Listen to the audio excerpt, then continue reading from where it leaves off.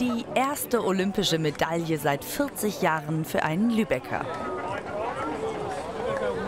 Im Moment ist es eher so ein bisschen Überforderung, weil, wie man sieht, sind viele Leute, viele Leute hier, die gerade was von einem wollen und auch einem gratulieren wollen, das auch total schön ist. Aber ich war darauf ehrlich gesagt nicht vorbereitet.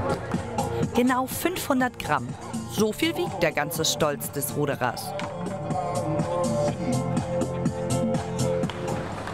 Sein Siegeszug führt heute durch die ganze Hansestadt. Prost! Prost, Max. Auf dich. Prost, Max! Auf dich. Danke, auf euch! Das ist einfach schön und man weiß, dass es irgendwie die Arbeit, die man reinsteckt, sozusagen wird dadurch auch belohnt. Also es geht gar nicht um irgendwelche, weiß ich nicht, Geldprämien oder Ruhm und Ehre so, sondern eher so einfach, dass ja, man macht andere Leute damit auch stolz und die den ganzen Weg mitbestritten haben und das ist irgendwie, was einen auch so ein bisschen antreibt als Sportler. Vor elf Tagen Unterstützung für Max Munski aus der Heimat. 1000 Fans fieberten live mit beim Finale.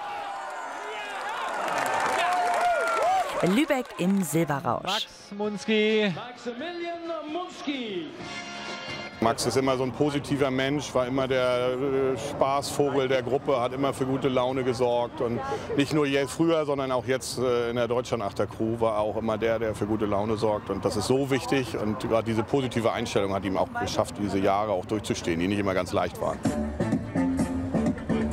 Auch nicht leicht zu entscheiden, wie es weitergehen soll.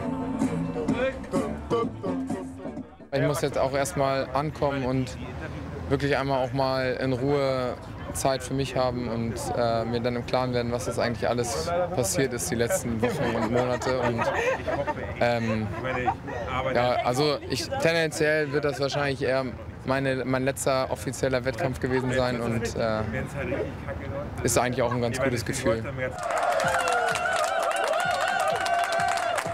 Heute überwiegt aber das gute Gefühl, olympisches Silber nach Hause zu bringen.